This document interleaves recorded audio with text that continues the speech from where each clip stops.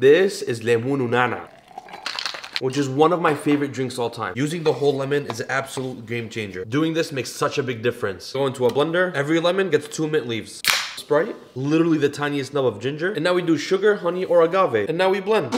This mixture is still pretty concentrated, so I kind of want the ice to water it down a bit. I actually live for this drink.